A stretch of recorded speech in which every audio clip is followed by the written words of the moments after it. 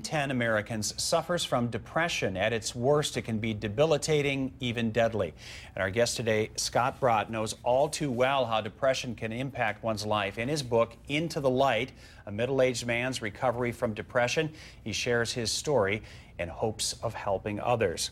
Now, Scott, welcome. Tell us about your battle with depression. that started when you were actually 40 years old. Started, ironically, at the age of 40. Um, most of the research in this field for men would say it normally starts between age 20 and 30, but in my case, it was later. Um, I'm a third generation sufferer, so I have mm. some genetics to pay attention to, but I need to also give attention to the fact that there were things going on in the environment that um, were, were dark, were sad, were unhappy, um, losing colleagues at work, mm -hmm. losing um, a, a favorite client, um, not having the energy I thought I should have or mm -hmm. need uh, normally, and, and, those were signs that maybe I should look into getting help. Your family even intervened at one point. You had electroconvulsive therapy. I mean, th this this was very very serious for you. What was the lowest point for you, Scott?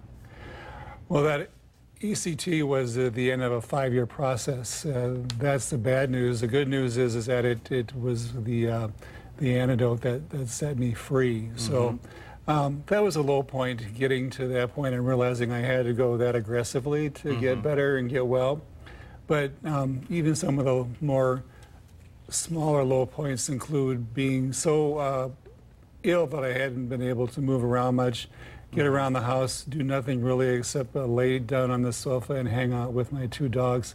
And mm -hmm. the, the energy level was was gone, so I had to do something. Let's talk about the book. Why did you decide to write it? It had to be tough to open up like that. It's very private, and it's a very good read. But but why did you decide to to write the book?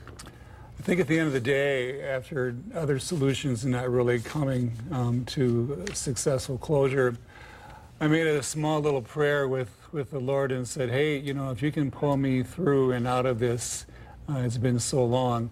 I, I promise to do something or write about it and write about the recovery so that others may, in fact, have a chance to learn on what works. We have about a minute left, so uh, how quickly, how are you doing now before we talk about where folks can get this book? Uh, my period of depression was a five-year period from age 40 to 45. I'm now 56. Mm -hmm. um, I've been free 15 years, and it's ever since I had the ECT therapy, mm -hmm. and uh, I'm pleased to say that the health is, is uh, is very, very good. I feel very fortunate. And you asked me about where else to get information about the book? Yes, right. And the book is going to be at Barnes and Noble in August, but you can you can get it online uh, right now. We put a link on our website to that, right? So there's an author uh, publishing website as well that there we can is. link to, there right? Is.